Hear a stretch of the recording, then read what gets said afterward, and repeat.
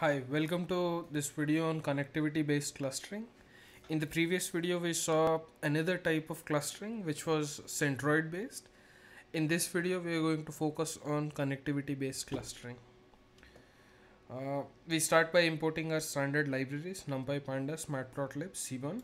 I also import Z-score. This is very important in any clustering algorithm or unsupervised learning because these algorithms are very sensitive to scales and we would want all the features to be scaled and that's why I would use z-score. I have saved the dataset at the same place on my GitHub repository. I read it directly from my GitHub repository.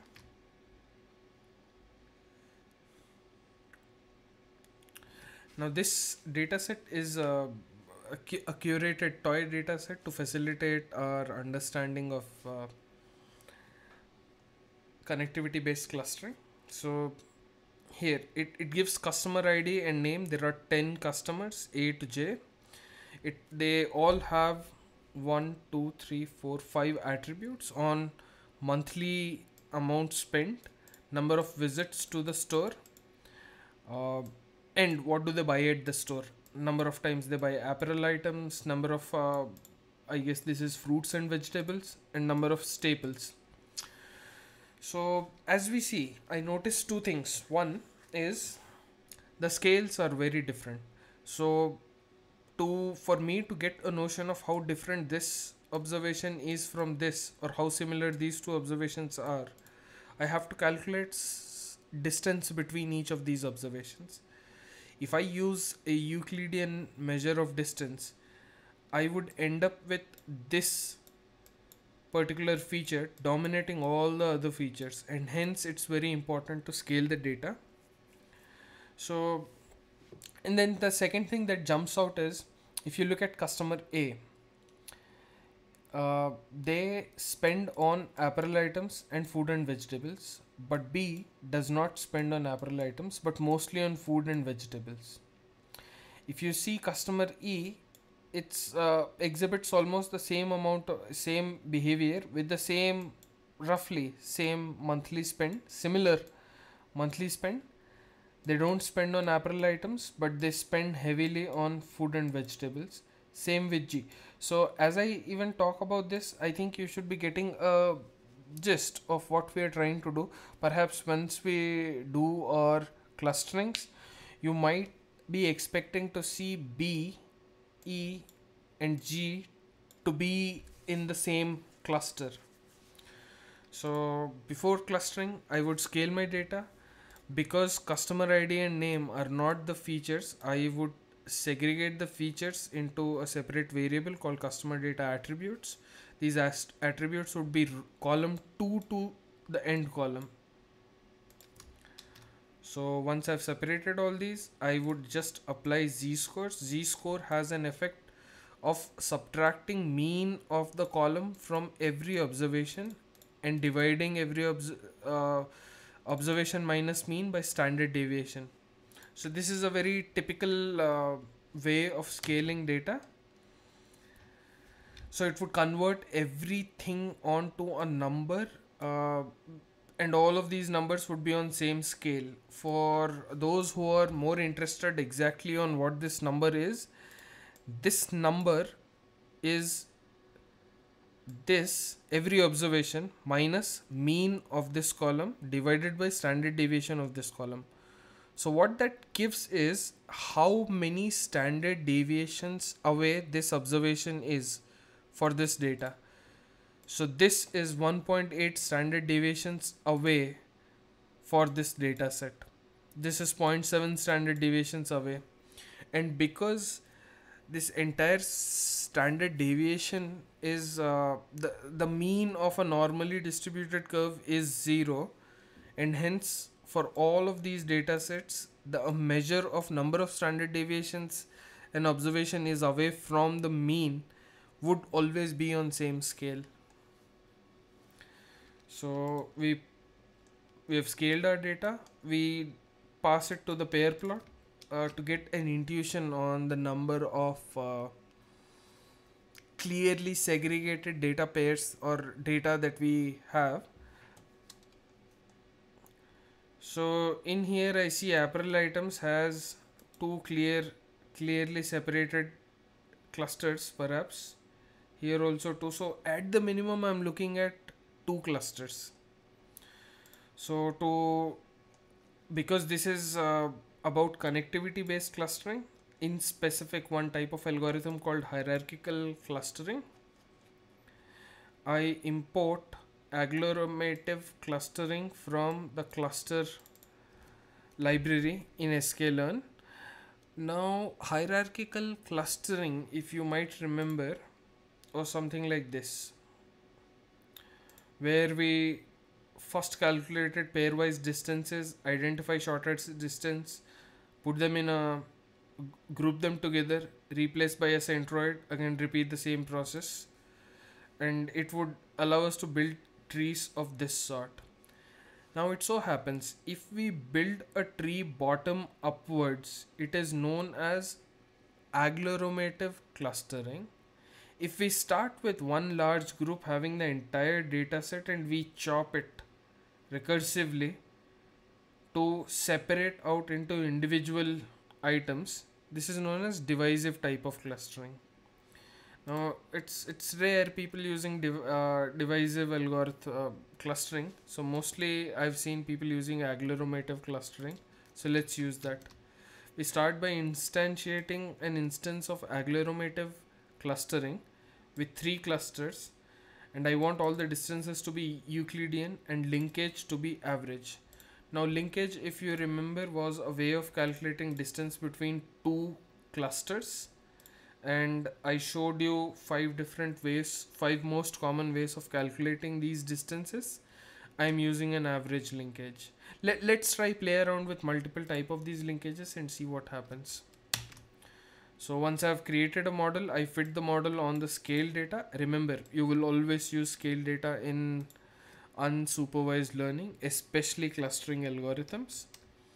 Now once I've created a model, uh, in centroid based model, especially k-means, we fit and we predicted the model and the predictions were actually the groups.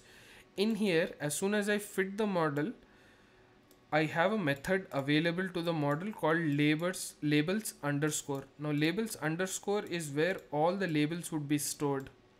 So I take this, create a separate column on customer data set, customer spend data set, and in those labels I save all the param all the labels that model came up with. Now I don't need to do ahead. Let's see the entire data set.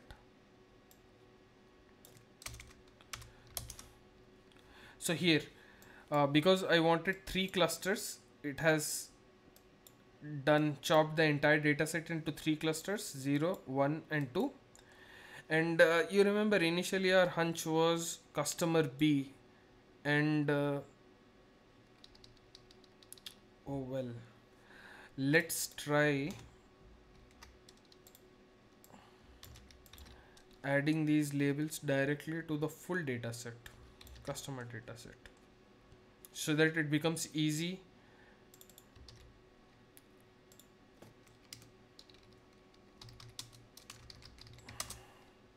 Now you remember earlier when we said customer B E and G were similar? Now let's see. So B was customer B has been put in uh, cluster 1 customer E has been classified cluster 1 customer G also classified in cluster 1 so it has been able to do this correctly and uh, let's group these by these labels and then calculate mean of all of these. So I've just grouped these by labels and then once I create a group by object I can calculate sum for the group but in here I want means. So average monthly spend for the cluster for people in cluster 1 is quite high compared to the people in cluster 2 uh, they visit the store more number of times than the people in cluster 2 and they spend more on apparel items and uh, none of the other groups spend on apparel items but the group 1 is an extreme heavy spender on food and vegetables. So this is broad way where it has segmented all the customers into three broad categories.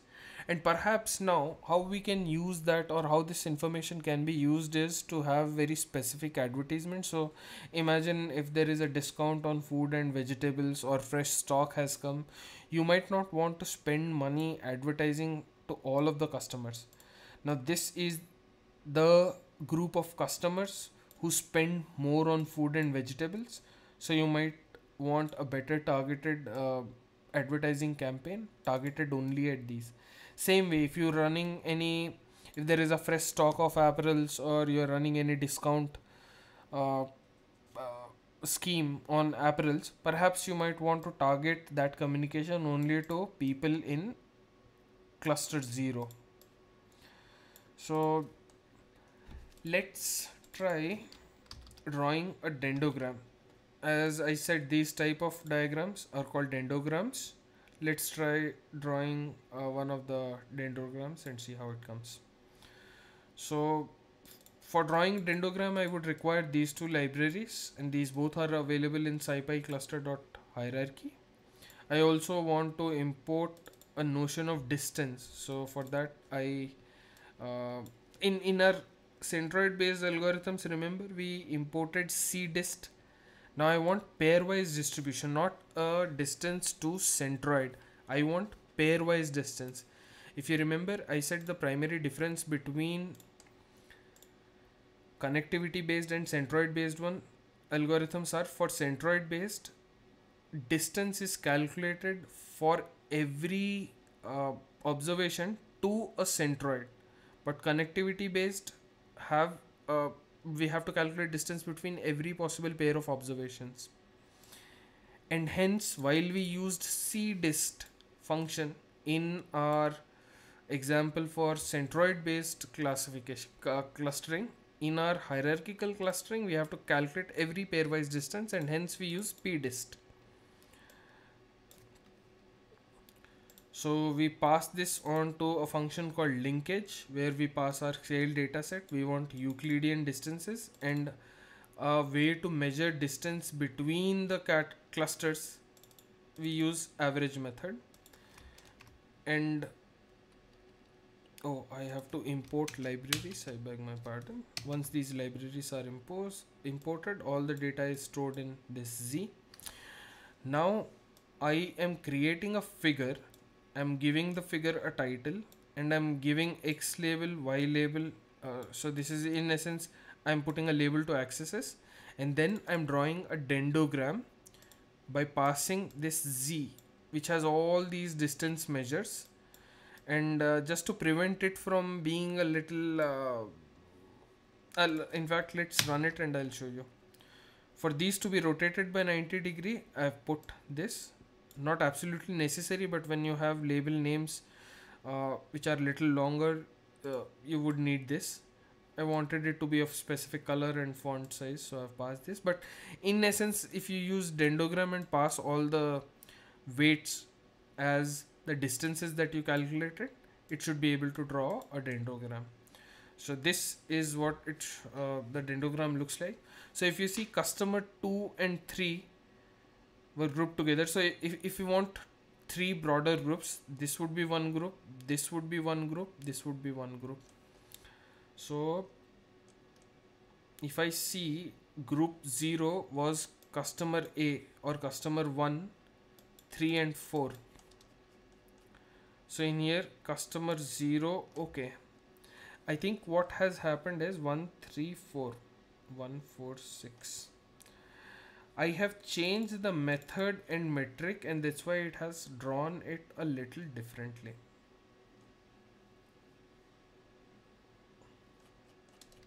So let's try changing this again. Let, let's try some more methods and uh, see how this dendrogram changes. But in essence, this is a representation of exactly the labels that it has put and at what level these labels would get merged. So I've used the same code, but instead of an average method, I've put a complete method. If you remember, uh, you can refer back to this. Complete linkage is the maximum the far the distance between two farthest points uh, in any given two clusters. So this mostly has remained the same in the way of classif- uh, grouping. But you would see the distance at which these group would change. You see these scales have changed and that's perhaps because our measure of distances would have changed. So finally i'm just going to show one more method ward which is the most commonly used method. And uh, i i tend personally tend to use the method ward as for me in the problems that i solve it tends to give uh, better results than any other method so this with this we conclude our hands-on video for hierarchical clustering. In this series we have learned unsupervised learning uh, two major methods for unsupervised learning. One method is one one type of unsupervised learning is clustering. The other type is principal component analysis. Clustering the most popular method to do that is k-means or in fact clustering can be of two ways. One would be centroid based clustering for which we uh, learnt k-means and other would be uh, um, a method by which all the pairwise distances are calculated.